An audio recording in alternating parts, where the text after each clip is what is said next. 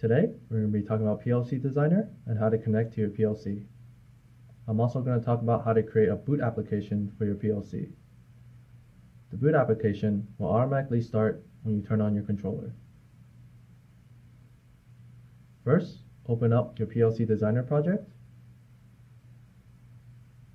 Next, connect your PLC to your PC using an Ethernet cable. You'll need to change the computer IP address settings. To do that, click on Start on the taskbar and click on Control Panel. Click on Network and Internet. Click on Network and Sharing Center. Click on Change Adapter Settings on the left. Right now, your PLC is connected via local area connection or LAN. To change these settings, right click on local area connection and click on properties. Click on Internet Protocol version 4 and click on properties. Right now, the default setting is obtaining an IP address automatically click Use the following IP address.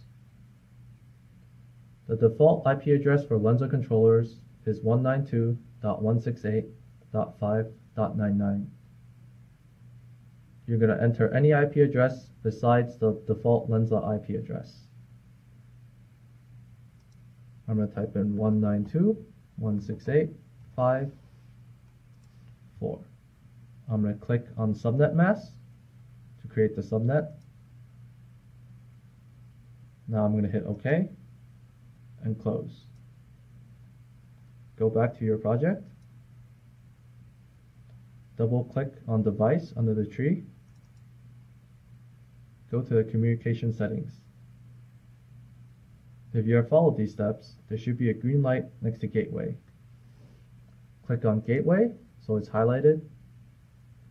Click on scan network.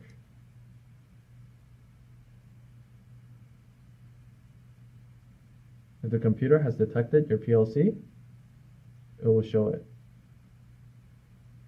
If you do not have the active, click on your PLC and click Set Active Path. Now you're ready to log in. To log in, click on the Online tab on the top and click Login.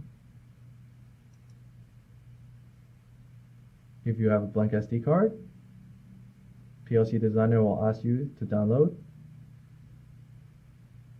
Click Yes, and you'll see it is downloading on the bottom screen right here.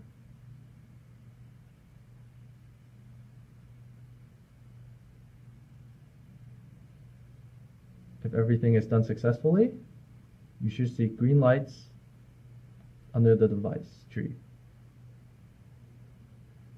To create a bootable application,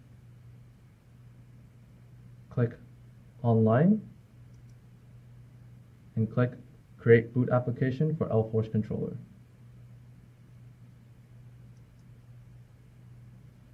Right now, it is creating. For more information on how to generate a boot application, click on Help Click Help.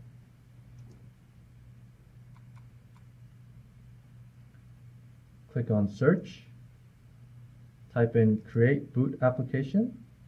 Hit Enter. You want the page that has underscore CDS underscore creating. Double click on this. This help page will tell you how to generate a boot application either in online or offline mode if you want to see your bootable application, connect your SD card to your computer, go under IPC, double click on this, double click on PLC. If the boot application is created, the file will be called application.crc.